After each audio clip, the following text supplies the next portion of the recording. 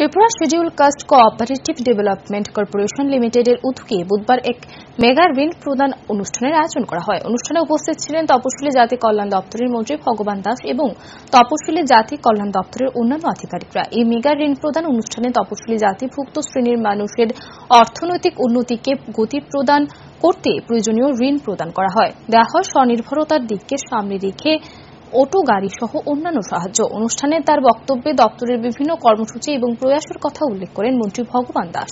নতুন নতুন স্কিমের মাধ্যমে যুবক, যুবতীদের স্বনির্ভর করার লক্ষ্যে তপশিলি জাতি কল্যাণ দপ্তর কাজ করে চলছে বলে জানান তিনি।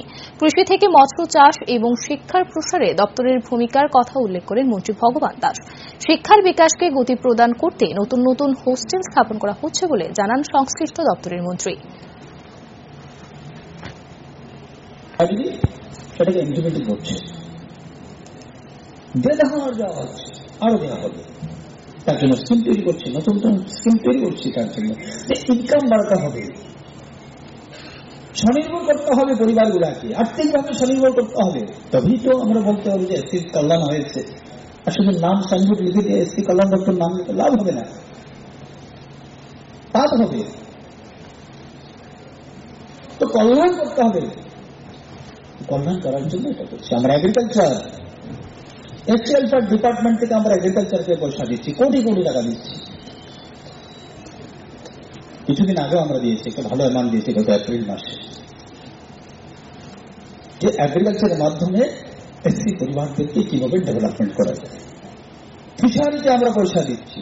এপ্রিল মাসে আমরা বারোটা দপ্তরকে পয়সা দিয়েছি এপ্রিল মাসে। ইমপ্লিমেন্টিং হয়নি। আমি তার জন্য বলেছি যে আমি সম্ভবত আগামী কালগুলোর সঙ্গে দরজা লাগিয়ে দিয়েছি, জানালা তৈরি করে দিয়েছি, যা কিছু ব্যবস্থা লাইট নেই লাইট করে দিয়েছি, জল নেই, জলের ব্যবস্থা করে দিয়েছি। সুবিধা দিচ্ছে। আজকে এবং নতুন নতুন হোস্টেল তৈরি হচ্ছে। এখানে পাঁচটা হোস্টেল তৈরি হচ্ছে। একটা কমপ্লিট হয়ে গিয়েছে ভগিনী নিবেদিতা আমাদের ওইখানে, এই জগন্নাথ বাড়ির পাশে কমপ্লিট হয়ে গিয়েছে, চালু হয়ে গিয়েছে। এইভাবে অমরপুরে হচ্ছে আমাদের চেয়ারম্যান সাহেবের এখানে। চালাতে হচ্ছে।